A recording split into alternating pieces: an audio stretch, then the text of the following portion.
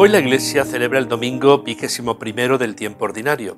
El día de la resurrección de Cristo es a la vez el primer día de la semana, memorial del primer día de la creación y el octavo día en que Cristo, tras su reposo del gran sábado, inaugura el día que hace el Señor, el día que no conoce el ocaso. Vivamos con intensidad el domingo, el día del Señor.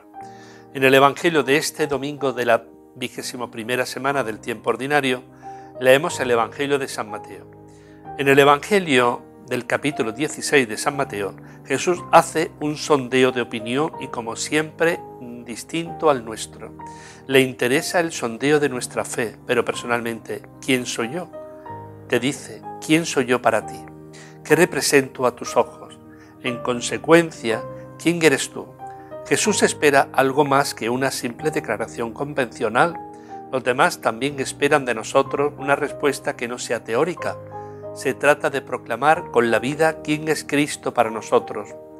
Pidamos al Espíritu Santo que nos ayude a reconocer en Jesús de Nazaret las huellas de la divinidad y pongamos en Él toda nuestra esperanza como el Salvador y el Dios con nosotros.